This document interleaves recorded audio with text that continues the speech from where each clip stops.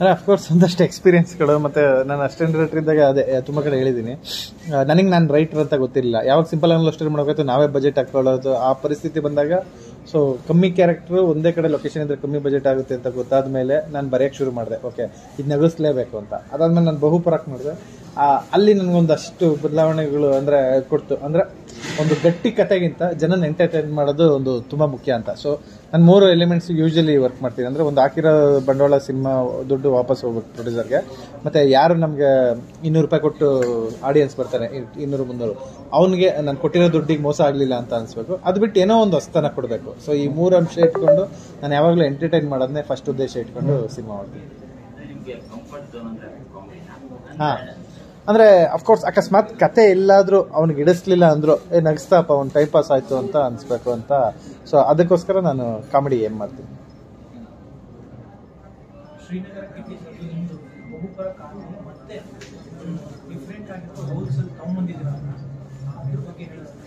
Srinagar Kitty sir, ಇಲ್ಲಿ ಒಂದು ಕುಮಾರ ಅಂತ ಒಂದು ಬ್ಲ್ಯಾಕ್ ಮ್ಯಾಜಿಷಿಯನ್ ಕ್ಯಾರೆಕ್ಟರ್ ಮಾಡ್ತಾರೆ.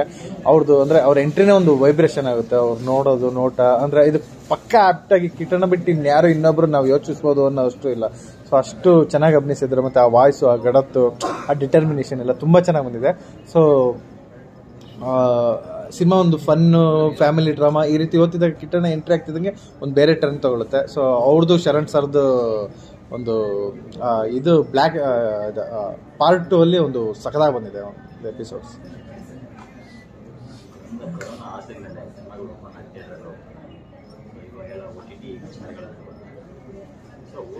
ಯಾವ ರೀತಿಯಾಗಿ ಪ್ರಕಾರ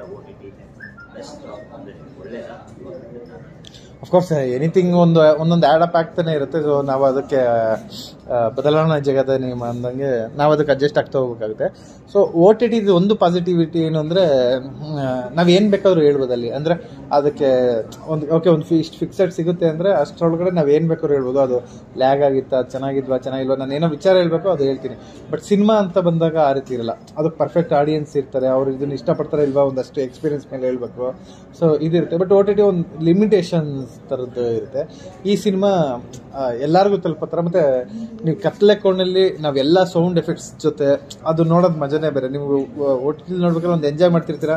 ಸ್ವಿಗ್ಗಿರೋ ಝೊಮ್ಯಾಟೊ ಬಂದಾಗ ನಿಮ್ದು ಅಲ್ಲೋಗುತ್ತೆ ಕಾನ್ಸಂಟ್ರೇಷನ್ ಮತ್ತೆ ಬರ್ತೀರಾ. ಸೊ ಅದು ಮೇ ಬಿ ಅನ್ಸ್ಬೋದು. ನಿಮ್ಗೆ ಸ್ಟ್ರೆಚ್ ಇರೋ ಮೂವಿನ ಗ್ಯಾಪ್ ಗ್ಯಾಪ್ ಕೊಟ್ಟು ನೋಡಿ ಓಕೆ ಚೆನ್ನಾಗಿತ್ತು ಅಂತ ನೀವು ರಿಪೋರ್ಟ್ ಕೊಡ್ಬೋದು. ಬಟ್ ದ ಬೆಸ್ಟ್ ಔಟ್ಪುಟ್ ಕೊಡೋದು ಯಾವತ್ತೂ ಥಿಯೇಟ್ರಲ್ಲೇ ನಾವು ಅಂದ್ರೆ ಸಿನಿಮಾ ವರ್ಕ್ ಮಾಡೋದೇ ಥಿಯೇಟ್ರಿಗೋಸ್ಕರ ನಾವು ಸೌಂಡ್ ಎಫೆಕ್ಟ್ಸ್ ಇರ್ಬೋದು ಡಿ ಟಿ ಎಸ್ ಇರ್ಬೋದು ಡಬ್ಬಿಂಗ್ ಅಥವಾ ರೀ ರೆಕಾರ್ಡಿಂಗು ಇದೆಲ್ಲ ಅಂದರೆ ಅರೇಂಜ್ಮೆಂಟ್ಸು ಈ ರೀತಿದೆಲ್ಲ ಬೆಸ್ಟ್ ಮಾಡೋದೇ ನಾವು ಥಿಯೇಟ್ರಿಗೋಸ್ಕರ. ಸೊ ಥಿಯೇಟ್ರ್ ಎಕ್ಸ್ಪೀರಿಯನ್ಸ್ ನಾನು ತುಂಬ ಖುಷಿ ಪಡ್ತೀನಿ. ಬಟ್ ಸೇಫರ್ ರೇಂಜಲ್ಲಿ ಇದ್ದರೆ ಓ ಟಿ ಟಿ ಓಕೆ.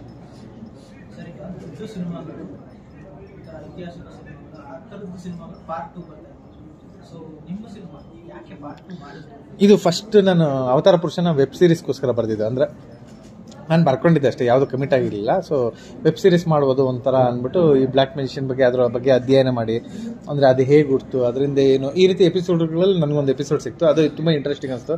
ಆ ರೀತಿ ಮಾಡಿ, ಅಂದರೆ ಎರಡು ಎರಡು ಜಾನರ್ ಕಥೆಗಳನ್ನ ತಗೊಂಡು ಬಂದು ಸೇರಿಸಿ ಮಾಡಿರೋವಂಥ ಸಬ್ಜೆಕ್ಟ್ ಇದು. ಸೊ ಪುಷ್ಕರ್ ಸರ್ ನಾನು ರೀಡಿಂಗ್ ಕೊಟ್ಟಾಗ ಅವ್ರಿಗೆ ಎಪಿಸೋಡ್ ವೈಸ್ ಹೇಳಿದೆ. ಅವರು ಕೇಳಿ, ಇಲ್ಲ ಇದು, ಇದೇನೋ ಒಂದು ಬೇರೆ ಇದೆ, ಬನ್ನಿ ಅಂದ್ಬಿಟ್ಟು ಅಂದ್ರೆ ಅದರಲ್ಲಿ ಒಂದಷ್ಟು ಎಲಿಮೆಂಟ್ಸ್ ಇತ್ತು. ಸೊ ಆ ಎಲಿಮೆಂಟ್ಸ್ನ ಕ್ಯಾರಿ ಮಾಡೋದು ಅಂದ್ರೆ ಶರಣ್ ಸರ್ಗೆ ಇದು ಪಕ್ಕ ಆಕ್ಟ್ ಆಗುತ್ತೆ. ಸೊ ಅಂದ್ರೆ ಆಡಿಯನ್ಸ್ನ ಅವ್ರ ಜೊತೆ ಕರ್ಕೊಂಡೋಗಿ, ಶರಣ್ ಸರ್ದ ಫನ್ ರೈಡಲ್ಲಿ ಕರ್ಕೊಂಡೋಗಿ ಅಲ್ಲಿಂದ ಒಂದು ಕರು ಕೊಡೋಣ ಅಂತ ಹೇಳಿ